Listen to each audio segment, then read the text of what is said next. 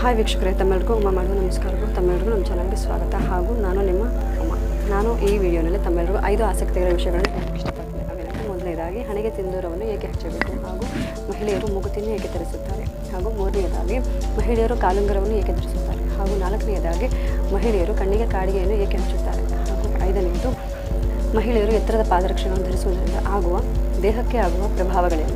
ಹಾಗೂ ಈ ಐದುಗಳನ್ನು ಸಂಕ್ಷಿಪ್ತವಾಗಿ ಹೇಳುತ್ತೇನೆ. ಬನ್ನಿ ವೀಕ್ಷಕರೇ. ಹಣೆಗೆ ತಿಲಕವನ್ನು ಹಚ್ಚುವುದರಿಂದ ನಮಗೆ ಚಿಂತನ ಹಾಗೂ ಮನನದ ಸ್ಥಿತಿಯು ಯಾವಾಗಲೂ ಕಾರ್ಯೋನ್ಮುಖವಾಗಿರುತ್ತದೆ ಹಾಗೂ ನಮಗೆ ಮಸ್ತಿಷ್ಕಕ್ಕೆ ಶಾಂತಿ ಹಾಗೂ ನೆಮ್ಮದಿ ದೊರೆಯುತ್ತದೆ ಹಾಗೂ ಸಾತ್ವಿಕ ಗುಣವು ವೃದ್ಧಿಯಾಗುತ್ತದೆ ಹಾಗೂ ಹಣೆಗೆ ಸೌಭಾಗ್ಯಕರ ದ್ರವ್ಯಗಳಾದ ಗಂಧ, ತಿಲಕ, ಚಂದನ ಸಿಂಧೂರ ಕುಂಕುಮ ಇವುಗಳನ್ನು ಹಚ್ಚುವುದರಿಂದ ನಮಗೆ ಸಾತ್ವಿಕ ಗುಣಗಳು ದ್ವೇಜಪೂರ್ಣವಾಗುತ್ತದೆ ಹಾಗೂ ನಮ್ಮಲ್ಲಿ ಆತ್ಮವಿಶ್ವಾಸವು ವೃದ್ಧಿಯಾಗುತ್ತದೆ. ಹೀಗಾಗಿ ಆತ್ಮವಿಶ್ವಾಸವು ವೃದ್ಧಿಯಾಗಬೇಕೆಂದರೆ ಹಣೆಗೆ ತಿಲಕವನ್ನು ಹಚ್ಚಬೇಕು.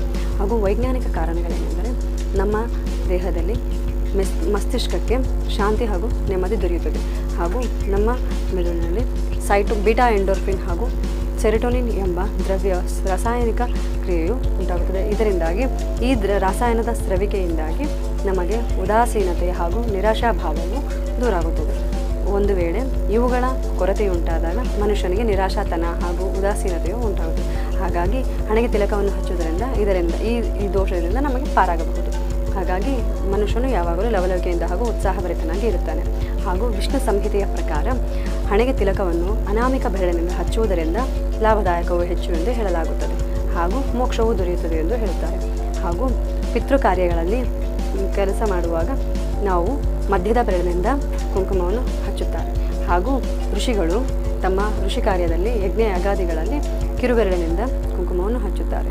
ಹಾಗೂ ತಾಂತ್ರಿಕ ಪ್ರಯೋಗಗಳಲ್ಲಿ ಮಧ್ಯದ ಪ್ರಥಮ ಬೆರಳಾದ ಒಂದನೇ ತೋರು ಬೆರಳನ್ನು ಬಳಸುವುದರಿಂದ ತಮ್ಮ ತಿಲಕವನ್ನು ಹಚ್ಚುವ ಕಾರ್ಯವನ್ನು ನಿರ್ವಹಿಸುತ್ತಾರೆ. ಹಾಗಾಗಿ ಅನಾಮಿಕ ಬೆರಳಿನಿಂದ ದೇವತೆಗಾಗಲಿ, ನಾವು ನಮ್ಮ ಹಣೆಗಾಗಲಿ ಹಚ್ಚುವುದರಿಂದ ಇದರಿಂದ ಅನೇಕ ಲಾಭಕರ ಸಂಗತಿಗಳಿವೆ. ಹಾಗಾಗಿ ಹಣೆಗೆ ತಿಲಕವು ಹಚ್ಚುವುದರಿಂದ ನಮಗೆ ಸಕಾರಾತ್ಮಕ ಚಿತ್ರಗಳು ಸಕಾಲಕ್ಕೆ ಉಂಟಾಗುತ್ತಿರುತ್ತವೆ. ಹಾಗೂ ನಮ್ಮಲ್ಲಿ ಮನನದ ಕಾರ್ಯವು ಯಾವಾಗಲೂ ತೇಜಪೂರ್ಣವಾಗಿ ವೃದ್ಧಿಯಾಗುತ್ತದೆ. ಹಾಗಾಗಿ ಹಣೆಗೆ ತಿಲಕವು ತುಂಬ ಪ್ರಮುಖವಾಗಿದೆ ಹಾಗೂ ಎರಡನೆಯದಾಗಿ ಮೂಗುತಿಯನ್ನು ಏಕೆ ಧರಿಸುತ್ತಾರೆ?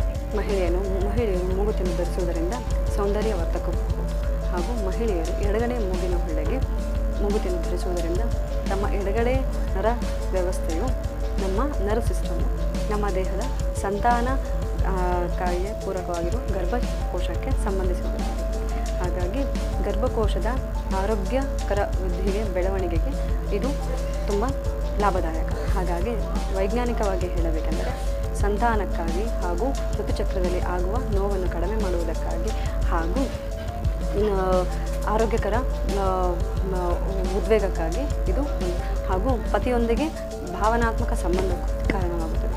ಹಾಗಾಗಿ ಮಹಿಳೆಯರು ಮೂಗುತಿಯನ್ನು ಧರಿಸುವುದರಿಂದ, ಎಡಗಡೆ ಮೂಗಿನ ಹೊಳ್ಳಿಗೆ ಧರಿಸುವುದರಿಂದ ಗಾಳಿಯು ದೋಷರಹಿತವಾಗಿ ನಮ್ಮನ್ನು ಸೇರುತ್ತದೆ.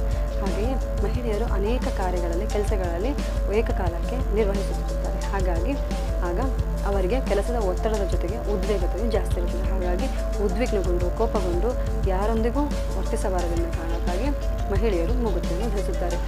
ಹದಿನಾರನೇ ಶತಮಾನದಲ್ಲಿಯೇ, ಪರ್ಷಿಯನ್ ಕಾಲದಲ್ಲಿಯೇ ಇದನ್ನು ಧರಿಸುತ್ತಿದ್ದರು. ಹಾಗೂ ಶುಶ್ರುತ ಸಂಹಿತೆಯಲ್ಲಿಯೂ ಕೂಡ ಮಹಿಳೆಯರು ಮುಗುತಿನ ಧರಿಸುವುದರಿಂದ ಗರ್ಭಕೋಶದ ಬೆಳವಣಿಗೆಯು ಆರೋಗ್ಯಕರವಾಗಿರುತ್ತದೆ ಹಾಗೂ ಋತುಚಕ್ರದಲ್ಲಿ ಆಗುವ ಸಮಸ್ಯೆಯನ್ನು ನಿವಾರಿಸಬಹುದು ಎಂದು ಶುಶ್ರೂಷ ಸಂಹಿತೆಯಲ್ಲಿ ಹೇಳಲಾಗಿದೆ. ಹಾಗಾಗಿ ಮಹಿಳೆಯರು ಮೂಗುತಿಯನ್ನು ಧರಿಸುವುದು ತುಂಬ ಉತ್ತಮ.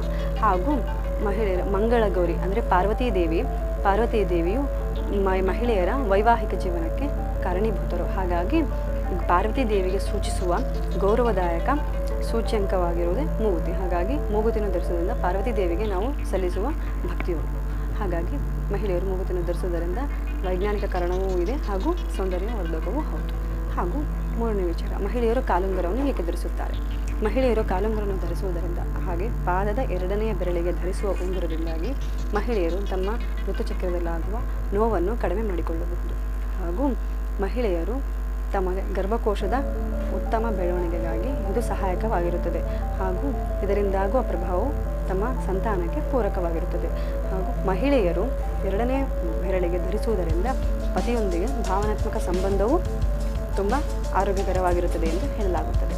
ಹಾಗಾಗಿ ಮಹಿಳೆಯರು ಪಾದಕ್ಕೆ ಬೆಳ್ಳಿಯನ್ನು, ಬೆಳ್ಳಿಯ ಉಂಗುರವನ್ನು ಧರಿಸುತ್ತಾರೆ. ಹಾಗೂ ಮೈ ಮದುವೆಯಾಗದ, ಅಂದರೆ ವೈವಾಹಿಕ ಜೀವನವಲ್ಲದ ಕನ್ಯೆಯರು ಪಾದದ ಮೂರನೇ ಬೆರಳಿಗೆ ಧರಿಸುತ್ತಾರೆ. ಏಕೆಂದರೆ ಋತುಚಕ್ರದಲ್ಲಾಗುವ ನೋವನ್ನು ಕಡಿಮೆ ಮಾಡುವುದಕ್ಕಾಗಿ ಮೂರನೇ ಬೆರಳಿಗೆ ಧರಿಸುತ್ತಾರೆ. ಹಾಗೆ ಮ, ಕಾಲುಂಗುರವು ವೈವಾಹಿಕ ಸೂಚ್ಯಂಕವೂ ಹೌದು. ಆರೋಗ್ಯಕರ ಕಾರಣವನ್ನು ಹೊಂದಿರುತ್ತದೆ. ಹಾಗೆಯೇ ಬೆಳ್ಳಿಯು ಉತ್ತಮ ವಾಹಕ. ಬೆಳ್ಳಿಯು ಉತ್ತಮ ವಾಹಕವಾಗಿರುವ ಕಾರಣ ದೇಹದಲ್ಲಿ ಉಂಟಾಗುವ ನಕಾರಾತ್ಮಕ ಶಕ್ತಿಯನ್ನು ಹೊರಹಾಕುತ್ತದೆ. ಹಾಗಾಗಿ ಬೆಳ್ಳಿಯನ್ನು ಕಾಲುಂಗುರಕ್ಕೆ ಧರಿಸುತ್ತಾರೆ. ಬೆಳ್ಳಿಯ ಚೈನ, ಬೆಳ್ಳಿಯ ಕಾಲುಂಗುರ ಇವುಗಳು ನಕಾರಾತ್ಮಕ ಶಾಂತಿಯ, ಶಕ್ತಿಯನ್ನು ಹೊರಹಾಕುತ್ತದೆ ಹಾಗೂ ದೇಹಕ್ಕೆ ಶಾಂತಿಯನ್ನು, ಆರೋಗ್ಯಕರವನ್ನು ಆಗಿಯೂ ಇರುತ್ತದೆ. ಹಾಗೆ ಕಣ್ಣಿಗೆ ಕಾಡಿಗೆಯನ್ನು ಹಚ್ಚುವುದರಿಂದ ಮಹಿಳೆಯರ ಅಂದವು ಅಂದರೆ ನಯನಗಳ ಅಂದವು ವೃದ್ಧಿಯಾಗುತ್ತದೆ ಹಾಗೂ ಸೌಂದರ್ಯವಾಗಿ ಕಾಣುತ್ತದೆ. ಹಾಗೂ ಕಣ್ಣಿಗೆ ಕಾಡಿಗೆಯನ್ನು ಹಚ್ಚುವುದರ ಹಿಂದಿರುವ ವೈಜ್ಞಾನಿಕ ಕಾರಣವೇನೆಂದರೆ ಕಣ್ಣು ತಂಪಾಗಿರುತ್ತದೆ ಹಾಗೂ ಬೇರೆಯವರ ದುಷ್ಟ ದೃಷ್ಟಿಯು ಎವಿಲ್ ಐಸ್ ದುಷ್ಟ ದೃಷ್ಟಿಯು ಬೀಳದಂತೆ ಇದು ಕಾಪಾಡುತ್ತದೆ. ಹಾಗೂ ಮುಂದೆ ಬರುವ ಕಣ್ಣಿನ ದೃಷ್ಟಿ ದೋಷವು ಬಾರದೆಂದು ಇದನ್ನು ಮುಂಚಿತವಾಗಿ ಕಣ್ಣು ಕಾವಲಿಗೆ ಎಂದು ಬಳಸುತ್ತಾರೆ. ಕಣ್ಣು ಕಪ್ಪು ಹಚ್ಚುವುದರಿಂದ ಮುಂದೆ ಬರುವ ದೃಷ್ಟಿ ದೋಷಗಳು ಬಾರದಂತೆ ಇದು ತಡೆಗಟ್ಟುತ್ತದೆ. ಹಾಗಾಗಿ ಕಣ್ಣಿಗೆ ಕಪ್ಪು ಹಚ್ಚುವುದರಿಂದ ತುಂಬ ಲಾಭದಾಯಕವಾಗಿದೆ. ಹಾಗೂ ಪಾದಕ್ಕೂ ಕೂಡ ಹಚ್ಚುವುದರಿಂದ ನಮ್ಮ ದೇಹದಲ್ಲಿ ಇರುವ ನಕಾರಾತ್ಮಕ ಶಕ್ತಿಯನ್ನು ಹೊರಹಾಕುತ್ತದೆ. ಹಾಗೆ ಕಣ್ಣು ಕಾಡಿಗೆಯು ಮೊದಲಿನ ಪೂರ್ವಕಾಲದಲ್ಲಿ ಮನೆಯಲ್ಲೇ ತಯಾರಿಸುತ್ತಿದ್ದರು ಹೇಗೆಂದರೆ, ಅರಳೆಣ್ಣೆ, ಅಂದರೆ ಔಡಲ ಬೀಜದ ಎಣ್ಣೆ, ತುಪ್ಪ ಹಾಗೂ ತಾಮ್ರದ ಪಾತ್ರೆಯಲ್ಲಿ ಇದನ್ನು ಮಿಶ್ರಣ ಮಾಡಿ, ತಾಮ್ರದ ಪಾತ್ರೆಯಲ್ಲಿ ಸ್ವಯಂ ಮನೆಯಲ್ಲಿಯೇ ತಯಾರಿಸಿ ಹಚ್ಚಿಕೊಳ್ಳುತ್ತಿದ್ದರು. ಹಾಗೂ ಬಾದಾಮಿ ಬೀಜದಲ್ಲಿಯೂ ಕಲಿಸಿ, ಸುಟ್ಟು, ಕಲಿಸಿ ಹಚ್ಚುವ ಪದ್ಧತಿಯೂ ಇದೆ. ಹಾಗಾಗಿ ಮನೆಯಲ್ಲಿಯೇ ತಯಾರಿಸುವ ಕಾಡಿಗೆಗೆ ಅತಿ ಹೆಚ್ಚು ಮಹತ್ವವಿರುತ್ತದೆ. ಹಾಗೂ ಎತ್ತರದ ಪಾದರಕ್ಷೆಗಳನ್ನು ಮಹಿಳೆಯರು ಧರಿಸುವುದರಿಂದ ದೇಹಕ್ಕೆ ಇಂಡ, ಪರೋಕ್ಷವಾಗಿ ಅನೇಕ ಪ್ರಭಾವ ಬೀರುತ್ತದೆ. ಹೇಗೆಂದರೆ ಹೆಣ್ಣು ಹೆಣ್ಣು ಮಕ್ಕಳ ಬೆನ್ನು ಮೂಳೆಯು ನಿಧಾನಗತಿಯಲ್ಲಿ ಹೆಚ್ಚು ಹೆಚ್ಚು ನೋವನ್ನು ಪಡೆಯುತ್ತಾ ಹೋಗುತ್ತದೆ. ಹಾಗಾಗಿ ಮೀನುಗಂಡ, ಮೊಣಕಾಲು, ಹಿಮ್ಮಡಿ, ಪಾದ ಇವೆಲ್ಲವೂ ಎತ್ತರದ ಪಾದರಕ್ಷೆಗಳು ಧರಿಸುವುದರಿಂದ ನೋವಿಗೆ ಉಂಟಾಗು, ನೋವಿಗೆ ಈಡಾಗುತ್ತವೆ. ಹಾಗಾಗಿ ಮಹಿಳೆಯರು ನಾಲ್ಕಕ್ಕಿಂತಲೂ ಹೆಚ್ಚು ಇಂಚುಗಳು ಇರುವ ಪಾದರಕ್ಷೆಯನ್ನು ಧರಿಸುವುದರಿಂದ ನೋವು ಹೆಚ್ಚಾಗಿ ಕ್ರಮೇಣ ಅವರಿಗೆ ನಡೆಯೋದಕ್ಕೂ ಕಷ್ಟ ಎನ್ನುವಷ್ಟು ನೋವಾಗುತ್ತದೆ ಹಾಗೂ ಹಿಮ್ಮಡಿಯ ಬಿರುಕಿಗೂ ಕಾರಣವಾಗುತ್ತದೆ. ಹಾಗಾಗಿ ಡಾ ವೈದ್ಯರ ಸಲಹೆ ಏನೆಂದರೆ ಮಹಿಳೆಯರು ಎರಡು ಅಥವಾ ನಾಲ್ಕು ಇಂಚುಗಳ ಪಾದರಕ್ಷೆಗಳನ್ನು ಧರಿಸುವುದರಿಂದ ಅಂದರೆ ಸ್ಯಾಂಡಲ್ಸ್ ಧರಿಸುವುದರಿಂದ ಈ ನೋವನ್ನು ಕ್ರಮೇಣ ಕಡಿಮೆ ಮಾಡಬಹುದು. ಮತ್ತು ಎರಡನೇದಾಗಿ ಮಹಿಳೆಯರು ಉಗುರು ಬೆಚ್ಚನೆಗಿನ ನೀರಿನಲ್ಲಿ ಉಪ್ಪನ್ನು ಹಾಕಿ ತಮ್ಮ ಪಾದಗಳನ್ನು ನೆನೆಬಿಡುವುದರಿಂದ ನೋವು ಮಾಂಸಖಂಡಗಳ ನೋವನ್ನು ಕಡಿಮೆ ಮಾಡಬಹುದು. ಹಾಗೂ ಮೂರನೆಯದಾಗಿ ಎಲೆವೇಟರ್ ಅಂದರೆ ಕಾಲನ್ನು ಮೇಲೆ ಕೆಳಗೆ ಇಳಿಸುವುದು, ಏರಿಸುವುದು ಅಂದರೆ ಬೆನ್ನು ಬೆನ್ನನ್ನು ನೆಲಕ್ಕೆ ಮಲಗಿಸಿ ಕಾಲನ್ನು ಮೇಲೆ ಕೆಳಗೆ ಏರಿಸುವುದರಿಂದ, ಏರಿ ಇಳಿಸುವುದರಿಂದ ಕಾಲು ನೋವು ಕಡಿಮೆ ಆಗುತ್ತದೆ.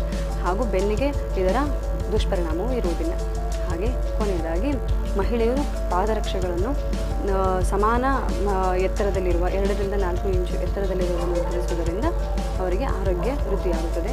ಹಾಗೂ ಯೋಗ ಯೋಗ ಮಾಡುವುದರಿಂದ ಮಹಿಳೆಯರ ಪಾದದ ನೋವು ಹಾಗೂ ದೇಹಕ್ಕೆ ಇರುವ ನೋವು ನಿವಾರಣೆಯಾಗಿ ಅವರು ಶಾಂತ ರೀತಿಯಿಂದ ಆರೋಗ್ಯಕರವಾಗಿ ಇರುತ್ತಾರೆ. ಹಾಗೆ ವೀಕ್ಷಕರೇ ತಮ್ಮೆಲ್ಲರಿಗೂ ಈ ಐದು ಮುಖ್ಯ ಸಂಗತಿಗಳು ಇಷ್ಟ ಆಗಿರುವಂತೆ ಭಾವಿಸ್ತೀನಿ. ಹಾಗಾಗಿ ತಮ್ಮೆಲ್ಲರಿಗೂ ನಮಸ್ಕಾರ. ಮುಂದಿನ ವಿಚಾರದಲ್ಲಿ ಭಸ್ಮಕ್ಕಿರುವ ಮಹತ್ವವೇನು? ಭಸ್ಮ ಧರಿಸುವುದರಿಂದ ಆಗುವ ಪ್ರಯೋಜನಗಳೇನೆಂದು ಹೇಳಲು ಮುಂದಿನ ವಿಡಿಯೋದಲ್ಲಿ ತಮ್ಮಲ್ಲಿ ಭೇಟಿ ನಮಸ್ಕಾರ ತಮ್ಮೆಲ್ಲರಿಗೂ ನಮಸ್ಕಾರ. ಎಲ್ರಿಗೂ ಈ ವಿಡಿಯೋ ಇಷ್ಟ ಆಗಿದರೆ ಸಬ್ಸ್ಕ್ರೈಬ್ ಮಾಡಿ, ಬೆಲ್ ಬಟನ್ ಪ್ರೆಸ್ ಮಾಡಿಬಿಟ್ಟು ಹಾಗೂ ಶೇರ್ ಮಾಡಿ, ಲೈಕ್ ಮಾಡಿ.